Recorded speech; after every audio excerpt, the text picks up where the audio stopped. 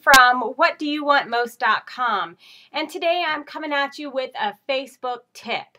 When it comes to Facebook marketing, the key to success is engagement.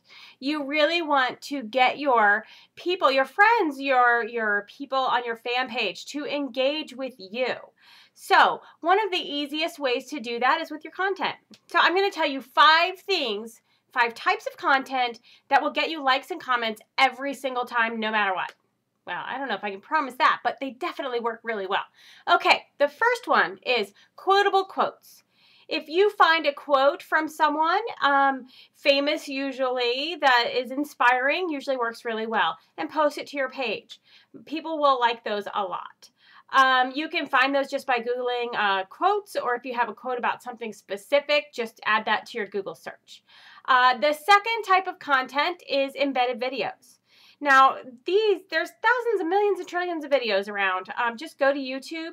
Now, the key with embedded video is to find a video that's entertaining or funny or is very, very relevant to your audience. If you can do that, then you will get likes and clicks and comments on your embedded videos easy questions. Now, don't make people think really hard. Give them a funny or an easy question to answer. Yes, or if you just say, um, if you like Halloween cupcakes, click like, okay?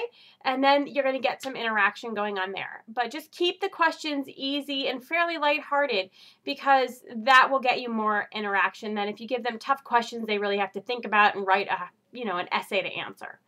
Um, pictures. This is one of my very favorite resources for Facebook interaction. Um, is uh, they're usually quotes or something that makes you feel really good. Also, um, pictures you take um, from around your home or of your kids. Those are always great ideas for getting interaction. My pictures get likes and comments almost every single time. And depending on the picture or the quote in the picture, it can get a lot of likes. So that's definitely a technique to use. Um, and the last one of these five techniques or content types is free resources. People love things that are going to help them.